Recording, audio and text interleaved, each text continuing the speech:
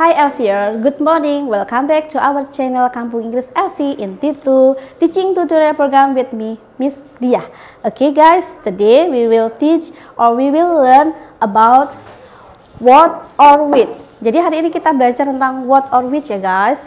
Now we will learn how to ask better question in English specifically. Jadi sekarang kita belajar bagaimana menanyakan uh, pertanyaan yang lebih bagus dalam bahasa Inggris yang lebih spesifik lagi. Oke, okay? we will learn when to use the question word what and when to use the question word which is there a difference. Jadi hari ini kita belajar tentang bagaimana sih cara penggunaan question word what and which guys kira-kira adakah perbedaannya ya? Oke okay, now between what and which so absolutely has a different guys. So what atau apa the question word is more general. Jadi what itu digunakan lebih general dan lebih umum and then wide lebih luas and then unlimited tanpa batas. Jadi lebih banyak lagi dan tanpa batas untuk penggunaan pertanyaan what itu. There's no specific. And then for which dan untuk which itu is so different with what which itu yang mana artinya Anda lebih spesifik dan limited option dan opsinya itu lebih sedikit daripada what atau apa kalau penggunaan which itu mungkin opsinya adalah satu dua tiga atau lebih tapi dia ada batasannya kalau what itu uh, so general there is no unlimited I think it's unlimited for what ya yeah? oke okay. okay now I will give you some of example for you how to use what or which here okay Here example, what kind of music do you like? Jenis musik apa yang kamu suka? We use what guys, is not which. Kita menggunakan what bukannya which karena apa? Di sini musiknya kan tidak ada pilihannya. Pilihan musik itu lebih banyak genrenya. Jadi jenis musik apa yang kamu suka ya? And then what kind of music do you like? Is not which music do you like? We use what ya. And then next, the second example, which movie do you want to see? Titanic or Batman? film apa yang kamu suka, yang kamu suka tonton ya.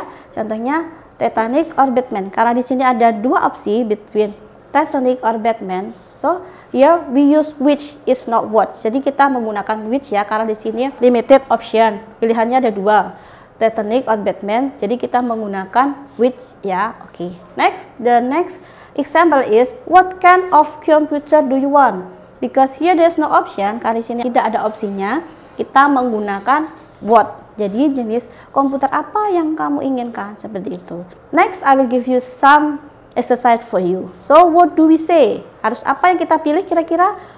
What color do you like or which color do you like? Because here there is no option. Kan di sini nggak ada pilihannya tuh. Warna apa yang kamu suka ya? Kan warna itu banyak sekali ada macam-macam ada 12 warna. Di sini kita menggunakan what ya guys? because what color do you like? Warna apa yang kamu suka? And then the second exercise what or which? Okay. We use which? Which color do you prefer black or pink? Jadi kita di sini menggunakan which ya guys? Because has two option. Karena di sini di belakang ada dua pilihan black or pink. Jadi kita menggunakan which is not what color do you prefer black or pink but The right one is which color do you prefer, black or pink?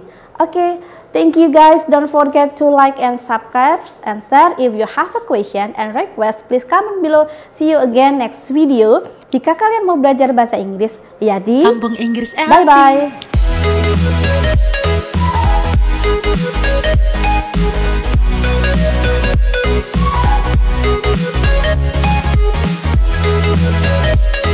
Kampung Inggris Elsie